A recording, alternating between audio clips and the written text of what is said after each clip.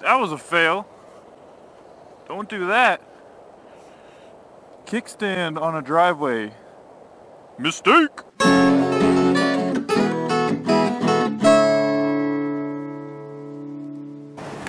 Man, well that'll be the first time I ever drop my bike.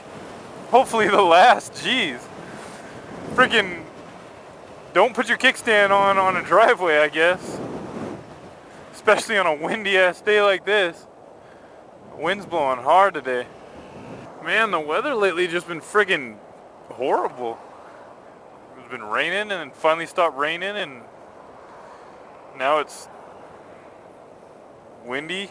Hey, doggy! What's up, doggy? So I'm on my way to go take a urine test for my new job.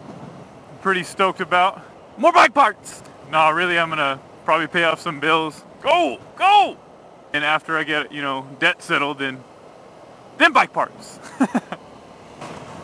let's go, everybody, let's go.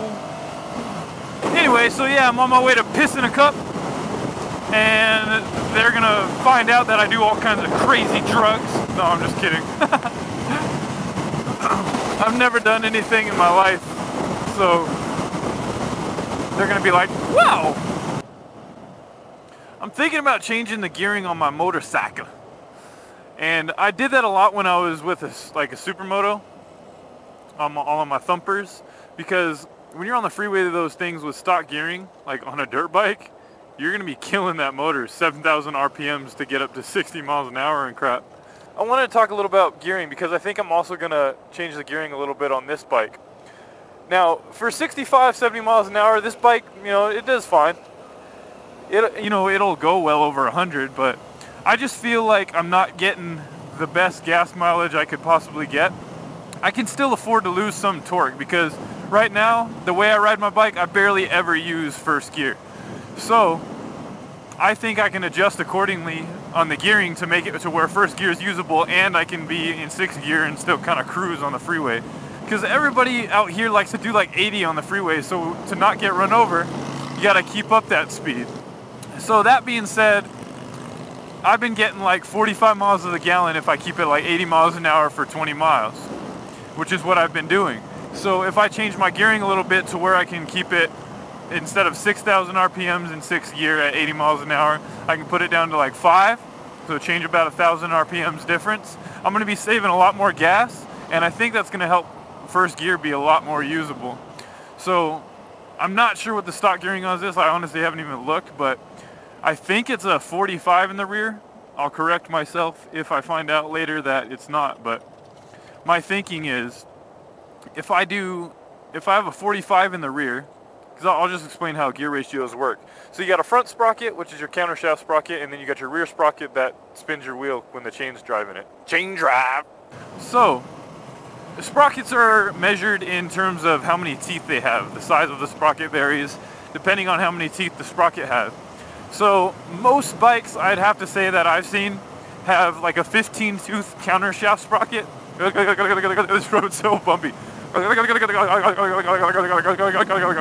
So like I said, yeah, most bikes I've seen have a 15 tooth front sprocket. And the back sprocket usually varies. I mean, on a dirt bike, you're gonna find that sometimes they'll have a 13 or 14 tooth front sprocket and a huge back sprocket, and that's for all the torque.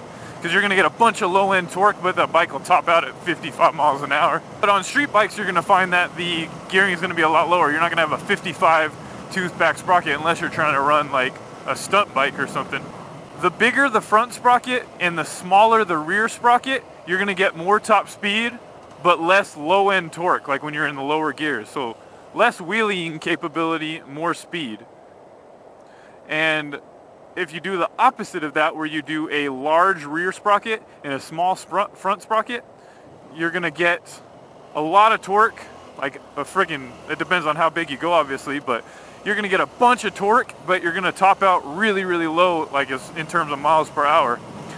So right now, I believe on this bike, again, I'll correct myself when I actually get into changing the gearing, but a 15 front and a 45 rear is what I'm guessing that it is. And what I'm thinking I'm going to do is just leave the front sprocket how it is and maybe come down on the rear sprocket a couple teeth, maybe a 43 or a 42 or something like that. Um, and that's going to put me right where I need to be. Man, these roads suck. that's going to put me right where I need to be at like 80 miles an hour at 5,000 RPMs. And then first gear is going to be usable. Like right now, I'll show you guys like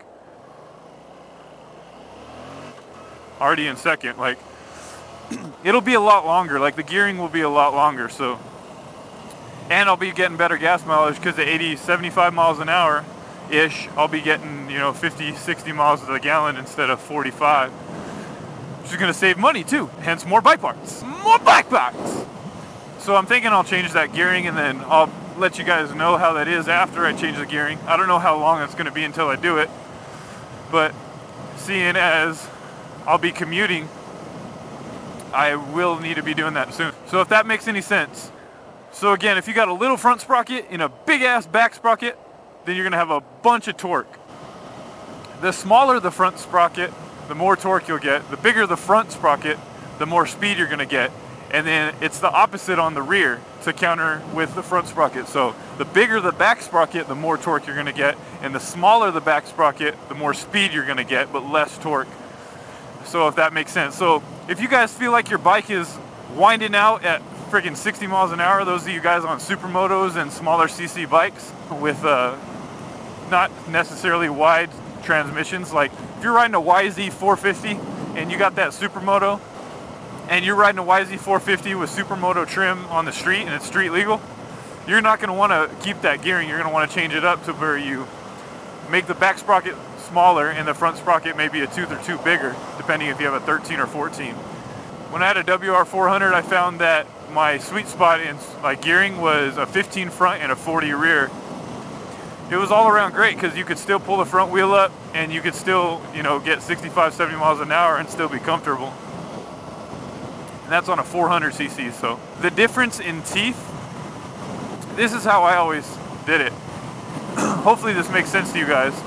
Every tooth on the back sprocket that you come down or up, I say is about three miles per hour top speed, roughly, depending on your bike. And there's other equations you can do, but I've always gone by, you know, three miles per hour is what you're gonna get. So if you got a 45 tooth rear sprocket and you leave the front sprocket and you change the 45 rear sprocket to a 46, you're probably gonna get three miles per hour less top speed, but you're gonna gain that in torque, like in the low end. So, and that goes the same vice versa. So, and then the front sprocket, every tooth you change in the front is gonna be like changing three teeth on the rear, if that makes sense. That's what I've always gone by. If that doesn't make sense to you, um, ask questions about it, um, and I'll be very happy to explain it to you a little better through uh, my WR400 Supermoto, my DRZ Supermoto that I have, and now this and all the dirt bikes I had in the past, uh, I've changed gearing a lot and it's really helped me out depending on if I'm riding in the dirt or on the street or pretty much wherever you gotta go.